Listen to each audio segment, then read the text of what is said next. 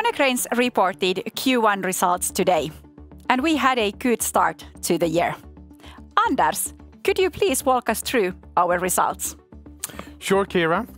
If we start with our profitability, it improved on a year-on-year comparison, and we posted a record high first quarter comparable EBITDA margin of 11.1%. Performance being particularly strong in our service business. When it comes to our group top line, our delivery capability continued on a good level, and sales exceeded 900 million, and we're up 2.5% versus a year ago in comparable currencies. Group order intake remained healthy, but was down versus the comparison period, which was record high. The order book totaled over 3 billion euros at the end of March.